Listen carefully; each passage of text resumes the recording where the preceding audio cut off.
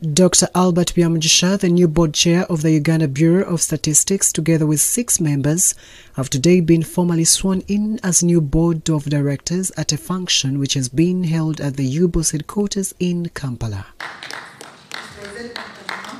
The members of the new board took oath of office before Principal Judge Flavian Zeija, who challenged them to ensure high quality statistics that will impact development of the country. significant opportunity positively shape our national statistical system. High quality statistics, statistical information services are a key pillar of our national development.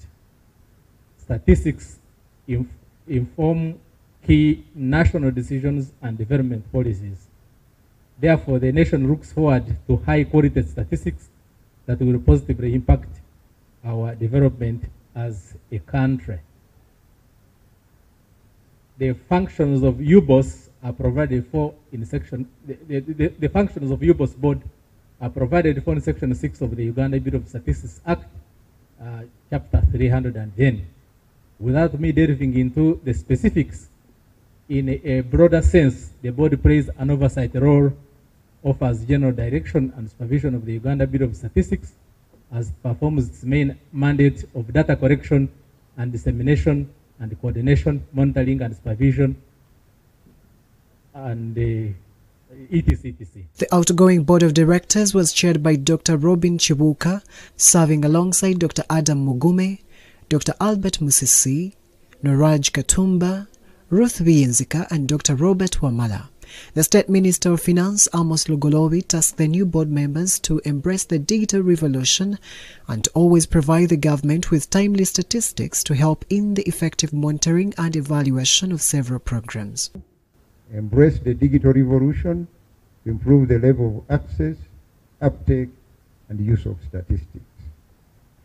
Number three, support government monitoring and evaluation initiatives with timely statistics to monitor result indicators in the NDP3. That actually will help us to make people, various MDAs, accountable. The incoming chairperson, Albert Byamugisha, pledged to work in line with the objectives of the body. And as a board, of course, we have a committee, census committee. You're obliged to make sure you attend, you advise, and work and support management whenever your services are required. So we don't leave it to management alone. We also have to make sure we work. And of course, we have the National Census Council, chaired by the Prime Minister. And here, of course, I represent you, but uh, our minister is a, is a member, and we have had three meetings, very active meetings. So we have stronger leadership on top of that level. So we must make sure we prepare for them. Story compiled by Jariat Namoya for the news.